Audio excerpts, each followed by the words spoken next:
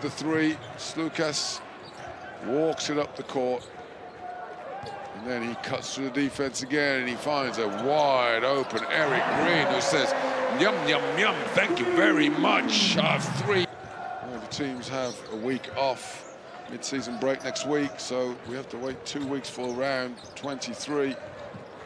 So Panathinaikos will have a week of practice to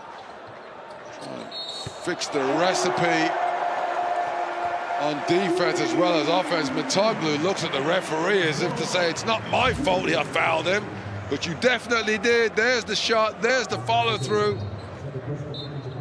Can't get the shot off as Calathes knocks it free. Still time on the shot clock, just dropped under 10. Laverne, nice pass through. Green says, oh, thank you. He moves under nine points.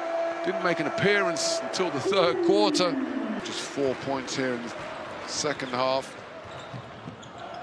Guberovic on the ball. And you'll find that you're allowed to be a rookie for about a minute.